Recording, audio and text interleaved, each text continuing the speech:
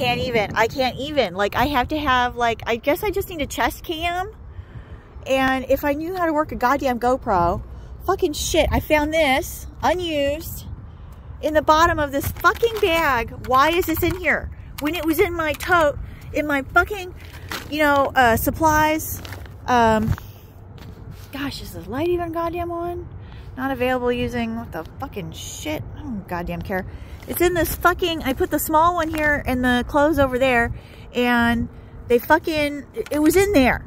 Or, or in one of the boxes fucking down there. I'm fucking, I'm so goddamn OCD.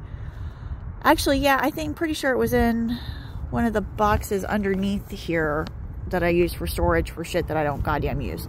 So why the fuck is this the only thing that was in this bag? They keep rearranging my shit. I'm so sick of it.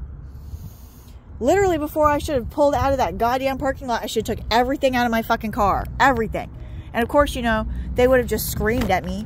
They would have said, oh, you know, that's beyond paranoia. Things like that don't even happen. It's not possible. Uh, it, it, you can't, you can't. You're either in or you're out. That's it. That's all there is. You're either in or you're out. You're one of us or you're not. And you're crazy. Fucking shit. There's no such thing as crazy.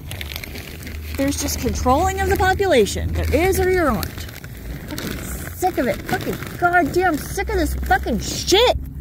Why? Why the fuck would I have tape with a goddamn raincoat? Why? It makes no sense.